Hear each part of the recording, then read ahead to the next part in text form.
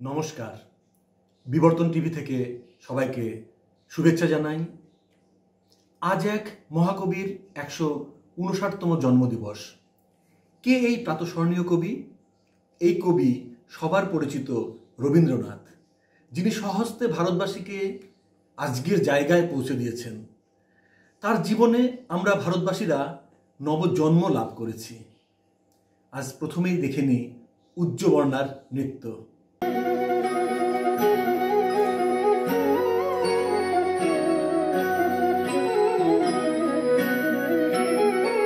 জোনাকি কি সুখে ওই ডানা দুটি মেলেছ ও জোনাকি কি সুখে ওই ডানা দুটি মেলেছ আধার সাজে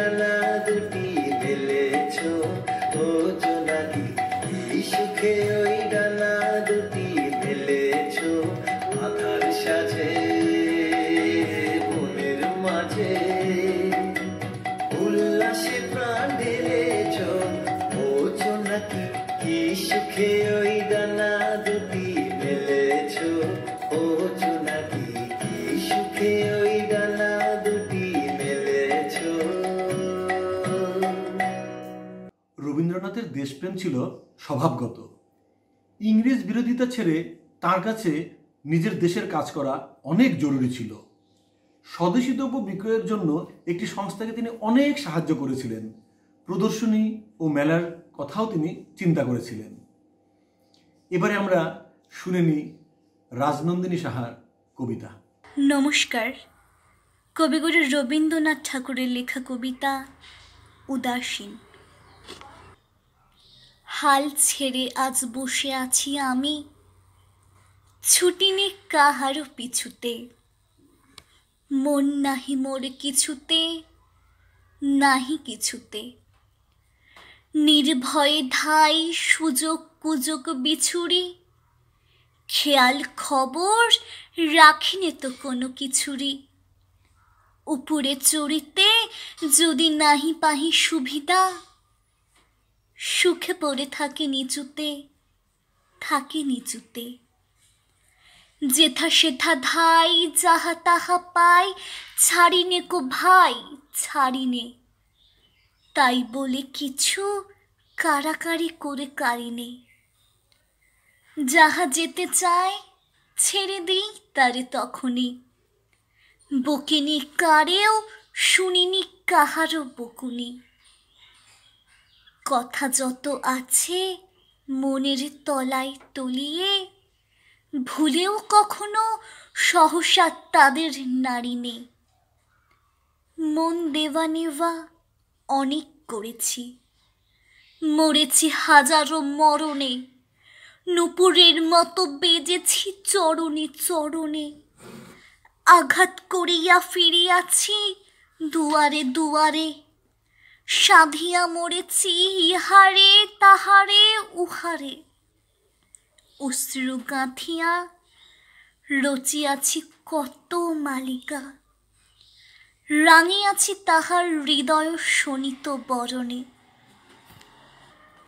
এতদিন পরে ছুটি, আজ ছুটি। মন ফেলে তাই ছুটেছি। তাড়াতাড়ি করে খেলা ঘরে এসে জুটেছি। বুক ভাঙা বোঝা নেব না রে আর তুলিয়া। ভুলিবারে যাহা, একেবারে যাব ভুলিয়া। যার বেরি তারে, ভাঙা বেরিগুলি ফিরিয়ে, বহুদিন পর মাথা তুলে আজ উঠেছি। কত ফুল নিয়ে আসে বসন্ত, আগে পড়িত না নয়নে। তখন কেবল ব্যস্ত ছিলাম চয়নে। মধুকর সমছিনু সঞ্চয় প্রয়াসী কুসুমকান্তে দেখি নাই মধুপ্রিয়াসী বকুল কেবল দলিত করেছি আলসে, ছিলাম যখন নীলিন বকুল শয়নে। দূরে দূরে আজ ভ্রমিতেছে আমি মন নাহি মোর কিছুতে। তাই ত্রিভুবন ছুটেছে আমারই পিছুতে। সবলে কারেও ধরিনে বাসনা মুঠিতে। দিয়েছি সবারে আপন বৃন্তে ফুটিতে। যখন ছেড়েছি উচ্চে উঠারে দুরাশায়, হাতের নাগালে পেয়েছি সবারের নিচুতে। নমস্কার। দেশের রাজনীতি থেকে রবীন্দ্রনাথ সব সময় সরে থাকার চেষ্টা করতেন, কিন্তু শেষ পর্যন্ত তাকে জড়িয়ে পড়তেই হতো। বঙ্গভঙ্গ নিয়ে দেশময় উত্তেজনার সময় বারবার রবীন্দ্রনাথের ডাক পড়েছে, কিন্তু তিনি শান্তিনিকেতনে বসেছিলেন, সাড়া দিচ্ছিলেন না। শেষ পর্যন্ত রাজি হয়ে বক্তৃতা করলেন, দেশকে নিজের করে নেওয়ার দায়িত্ব দেশবাসীর। বঙ্গভঙ্গকে উপলক্ষ করে তার রচিত অসাধারণ গান আমার সোনার বাংলা সারা কলকাতা শহর মাতিয়ে তুলল। এবারেও সঙ্গীতে মাতাতে আসছেন বিপ্লব দেব। এসো এসো।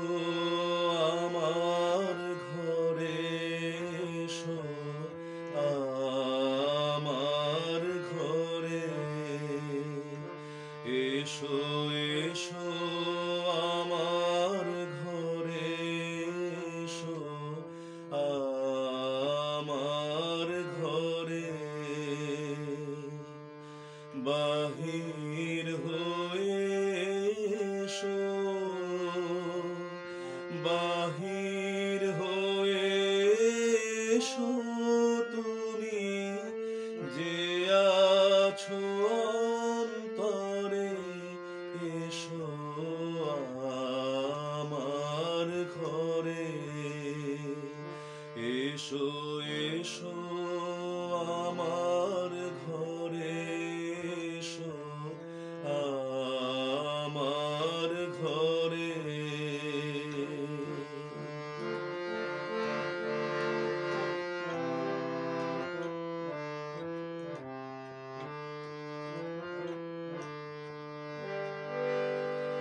স্বপন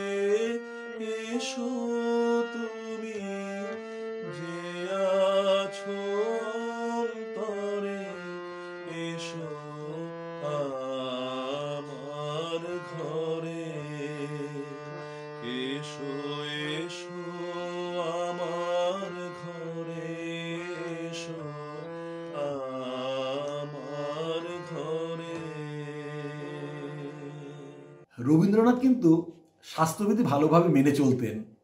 সকালে ঘুম থেকে উঠে কানা পালোয়ানের সঙ্গে কুস্তি লড়তেন। তারপর তেল মালিশ, বিকেলে জিমন্যাস্টিক, সাঁতার কাটা এবং প্রতিদিন নিয়ম করে হাঁটতেন। তিনি ছিলেন খুব মিতাহারী। লুচি তরকারি আর দুধ, ফল, তার ছিল নিয়মিত খাদ্য। এছাড়া নিমপাতার রস, চাল কুমড়োর রস, ত্রিফলার জল খেতেন নিয়মিত। অর্থাৎ তিনি খুব স্বাস্থ্য সচেতন ছিলেন। এবারে আমরা কবিতা শুনব জারিন আয়ুবের কণ্ঠে। নমস্কার, প্রশ্ন, রবীন্দ্রনাথ ঠাকুর। মা গো আমায় ছুটি দিতে বল, সকাল থেকে পড়েছি যে মেলা। এখন আমি তোমার ঘরে বসে করব শুধু পড়া পড়া খেলা। তুমি বলছো, দুপুর এখন সবে। না হয় যেন সত্যি হলো তাই।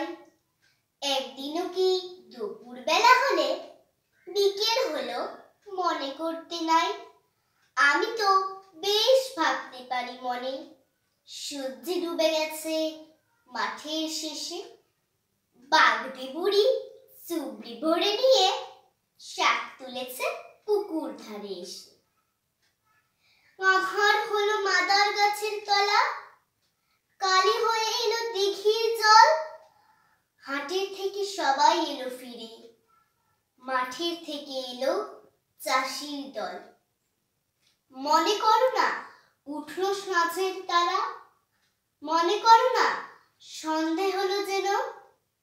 রাতের বেলা দুপুর যদি হয়, দুপুর বেলা রাত হবে না কেন?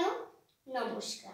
চিকিৎসক হওয়ার কারণে অনেকেই আমার কাছে কৌতূহল প্রকাশ করেন রবীন্দ্রনাথের কি কি অসুখ বিসুখ ছিল? রবীন্দ্রনাথ মাঝে মধ্যে জ্বর ইনফ্লুয়েঞ্জায় ভুগতেন, কিন্তু তার রোগের মধ্যে ছিল কঠিন রোগ যেগুলো ছিল, তিনি অর্শে ভুগতেন, তার লিভারের রোগ সমস্যা ছিল নিউরালজিয়া ছিল, বিসর্প রোগ তাকে আক্রমণ করে, শেষ পর্যন্ত প্রস্টেট গ্ল্যান্ডের রোগে তিনি আক্রান্ত হয়েছিলেন। তার একবার সুপ্রাপিউবিক সিস্টেকটমি অপারেশন হয়েছিল। রবীন্দ্রনাথের চিকিৎসা কারা কারা করতেন জানেন? তিন প্রবাদ প্রতিম চিকিৎসক। Doctor Bidhan Chandra Roy, doctor Lalit Mohan Banerjee, doctor Nilratan Sarkar. এবারে আবৃত্তি পরিবেশনে শিলাদিত্য রায়। নমস্কার। এবারের পঁচিশে বৈশাখ অন্যরকম। আমরা সবাই গৃহবন্দী। তবু এই গৃহবন্দী অবস্থায় রবি প্রণামের আয়োজন। আয়োজক বিবর্তন সাহিত্য গোষ্ঠী। আমার নিবেদনে কবিগুরু রবীন্দ্রনাথ ঠাকুরের হঠাৎ দেখা কবিতা। রেলগাড়ির কামরায় হঠাৎ দেখা। ভাবিনি সম্ভব হবে কোনো দিন আগে ওকে বারবার দেখেছি লাল রঙের শাড়িতে। দালিম ফুলের মতো রাঙা। আজ পড়েছে কালো রেশমের কাপড়। আঁচল তুলেছে মাথায় দোলন চাপার মতো চিকন গৌর মুখখানি ঘিরে। মনে হলো কালো রঙে একটা গভীর দূরত্ব ঘনিয়ে নিয়েছে নিজের চারদিকে। যে দূরত্ব সর্ষে ক্ষেতের শেষ সীমানায় শালবনের নীলাঞ্জনে। থমকে গেল আমার সমস্ত মনটা। চেনা লোককে দেখলেন অচেনার গাম্ভীর্যে। হঠাৎ খবরের কাগজ ফেলে দিয়ে আমাকে করলে নমস্কার। সমাজবিধির পথ গেল খুলে, আলাপ করলেন শুরু। কেমন আছো? কেমন চলছে সংসার? ইত্যাদি। সে রইল জানলার বাইরের দিকে চেয়ে। যেন কাছের দিনের ছোঁয়াচ পার হওয়া চাকুরিতে দিলে অত্যন্ত ছোট দুটো একটা জবাব। কোনোটা বা দিলেই না। বুঝিয়ে দিলে হাতের অস্থিরতায়, কেন এসব কথা? এর চেয়ে অনেক ভালো চুপ করে থাকা। আমি ছিলাম অন্য বেঞ্চিতে, ওর সাথীদের সঙ্গে। এক সময় আঙুল নেড়ে জানালে কাছে আসতে। মনে হলো কম সাহস নয়।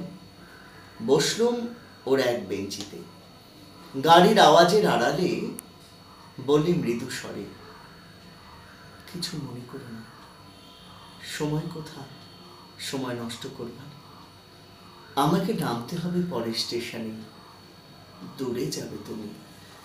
দেখা হবে না আর কোনো দিনই তাই যে প্রশ্নটার জবাব এত কাল থেমে আছে, শুনব তোমার মুখে। সত্য করে বলবে তো। আমি বললাম, বলব।